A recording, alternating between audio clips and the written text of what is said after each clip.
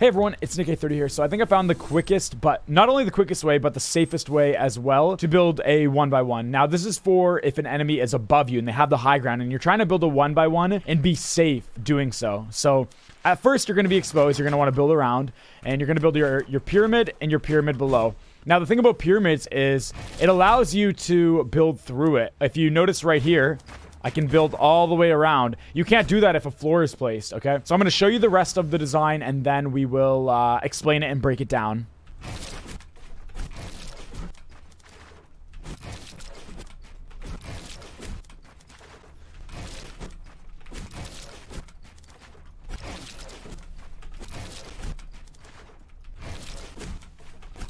And that's basically it right there. So obviously you're completely covered. And if an enemy has the high ground, obviously they might shoot you a couple times. And with that, you can just hold uh, the build and turbo build the pyramid. If you need to do like a floor as well, an extra layer, um, by all means do so. And then when they stop shooting, you just want to basically make an edit. You have to make uh, three squares uh, edited. If you only do two, like so, when you try to build and go around you, it's not going to let you. As you can see, it's not going to let you cover your back. So you need to make sure that's there. And then bam. You got it all the way around, and then you uh, you build your uh, you make your edit, you build your pyramid, and then reset it. Okay, so I'm just gonna basically break it down in slow motion for you guys. Okay, so we got our one by one. I built walls all around me. I'm gonna build my pyramid below, my pyramid on top. Now, I'm just showing you guys step by step. Now, this is obviously an advanced strategy, and if you're new to the game, I wouldn't recommend doing it. But first things first. So you basically edit this square, this square, and it becomes a ramp upwards. Then you can make your builds of your walls all the way around. And the thing is, when you're doing this, you don't want to be pushed right up against it because when you're making your builds and then you're trying to edit this, like you get caught in your pyramid and it's very, very hard. So you only want to go up your ramp a little bit and as you make those builds around, then you edit the two squares where you're standing up at the highest point of your ramp. Bam. And then that allows you to build a pyramid through. Okay. Then you can you edit your pyramid again, you reset it, then you edit the two squares on the opposite side. Obviously, you jump as you do it, otherwise it might get uh, messed up. But so if, if we reset it, we do this and then bam, reset it like that. Okay, that's the gist of it. So you're covering yourself as you're building up. And I just like to show you guys it in fast motion right now. So as me doing it as quickly as possible, what it would look like.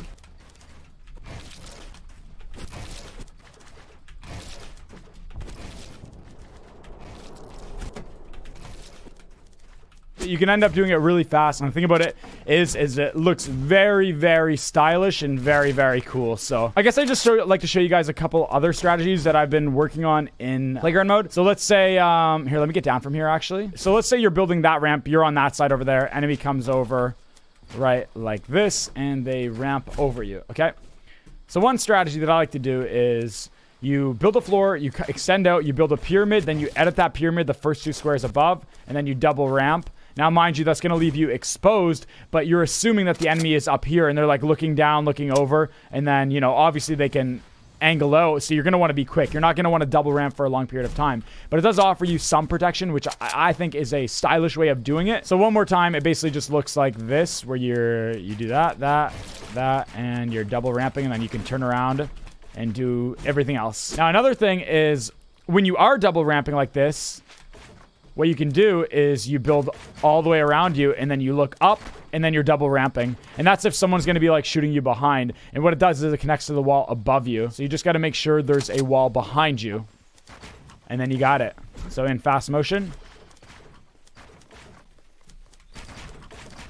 Just like that. Another thing that I've been working on is, let's say you have the storm circle on your back and you're trying to push in with an enemy pressuring you who's already in the storm. So west is where they're at, and that's where you need to go directly west.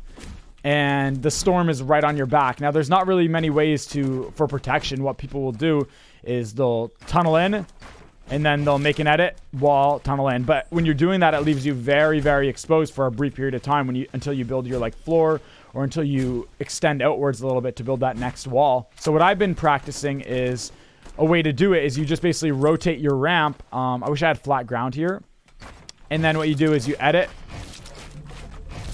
And then it offers like almost complete protection. And you can get away with doing it very, very quickly. As you can see. And you're always protected because as soon as you make the next edit, you're holding down the le uh, left click or the uh, mouse button. And then you have that protection, right?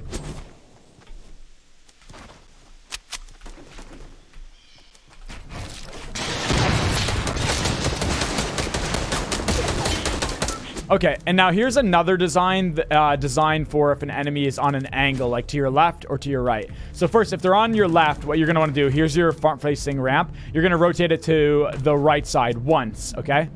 Um, if you were to do it to this side, well, let me show you the design first. So ramp, ramp, floor, ramp, ramp, floor, ramp, ramp, floor, ramp, ramp, floor, ramp, ramp, floor. And this is a design that Sancho West showed me. And as you can see, it protects you. Now, obviously, it's not extra protection, but if an enemy starts shooting you, you can stop the design, build a floor, and then just kind of like wait it out right here, and then continue on with your ramp, ramp, floor. Well, obviously, this is blocking me, but you get the idea.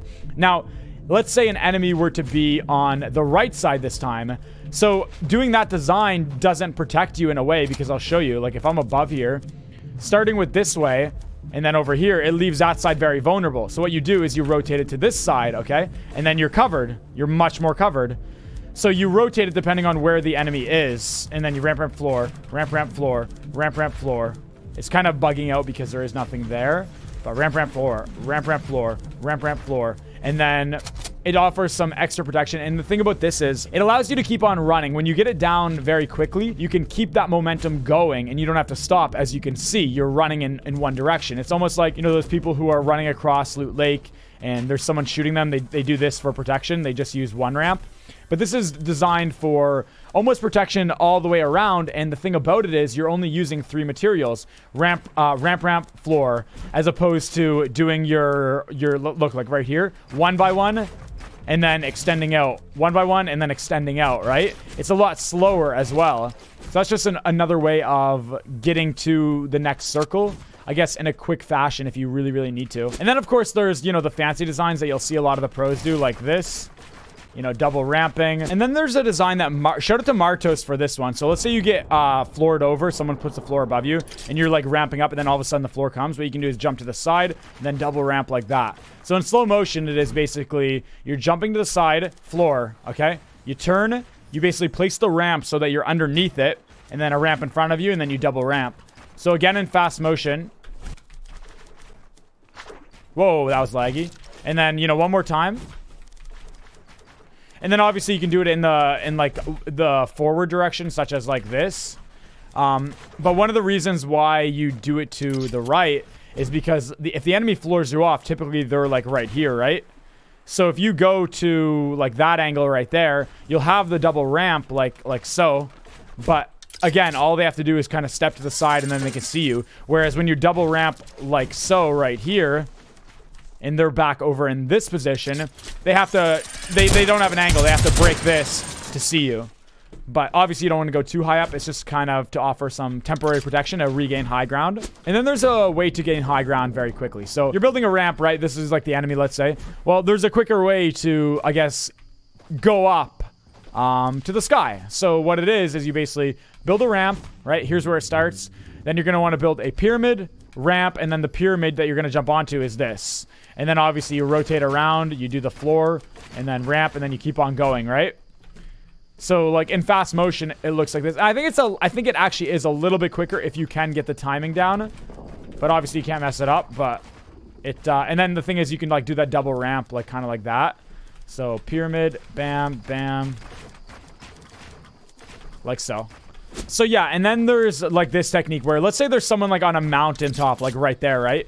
You can do this little pyramid technique. Now, this is basically for style points. You want to do the edit, you edit those two squares. You jump, floor, wall, wall, and then reset. Edit those two squares in front, and then you're ready to go. So basically, what that pyramid technique does is it allows you to get to one story higher, right? So if you were to do it like this, you're, you're one story hi higher now, so they have less of an angle on you versus being down here and then like trying to ramp up. You see how they can like headshot me like clearly there?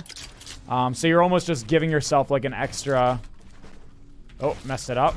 You're just giving yourself an extra like extra protection while you gain a second story. And then we have a quick little way of getting down from the high ground. Say you're in a build off and you need to drop down, enemy shooting it down. You know, it's slow to rotate your ramp twice and then go downwards like this, or even, you know, edit your way down, like slowly, slowly going down. Um, so a simple way or a quick way of doing it is just running off, building wall, wall, ramp, wall, wall, wall, ramp, wall, wall, ramp, wall, wall, ramp. And you just keep doing that over and over again. And uh, like I said, a lot of pros already know this, but just in case, you know, you don't know, just a quicker way. And you can also do it with floors as well. And then, you know, edit down I find floors, you always duplicate it like that, so it ends up slowing you down even more, which is why I like using ramps. It rarely ever happens with ramps. But, you know, you have uh, a bunch of different ways of doing it. And what I've even seen is, you know, people doing this with floors like so. And then they just step to the side. And I guess that would eliminate the factor of, like, editing and you know slowing you down even more. So i guess that's an even quicker way of uh, of doing it. And mind you you can do the exact same thing with ramps. You can step to the side as well instead of editing your ramp and dropping down. Same technique. And then there's been another technique that i've been working on which i don't know what it would be useful for. If you guys have any ideas let me know in the comments below. But i just been kind of been working on quick edits like so where you rotate and you're kind of constantly going up. Now if you could use this in a build up let me know how you guys think how you could do so. But yeah, I mean, I, I, I don't really, like, see any, any kind of purpose. I just kind of been messing around in, in Playground doing this. So yeah, um, I, I, think that's all for now, guys. Um, if you wanted me to elaborate on any of the techniques I mentioned, maybe I could have broke down the reasons on why you'd use them, or if there's more like techniques you want to see, because there definitely is. I just kind of did a couple that uh, are a few that came to mind, but I have more techniques that I'd like to share. So if you do like this video, make sure to, you know, leave a like and, and let me know that you enjoyed it and that you want to see more, and I will do it. And I'll try to be more concise and break down exactly why you'd want to do these certain techniques, when you'd want to do them, and maybe can, I can even offer other techniques as well and other strategies and tips for rushing people, when to rush, when not to, when to rotate, right? So yeah, uh, and, and, another thing, if you'd like to support me directly, there is a join button uh, down below if you scroll down a bit, or if you're on mobile, use the link in the description. It helps support me and you get some cool emotes and you can chat in our live streams. I always live stream every single day. And uh, yeah, guys, without further ado, uh, take it easy. Keep on being awesome, A-Team, and I will see you all in the next one. Hey!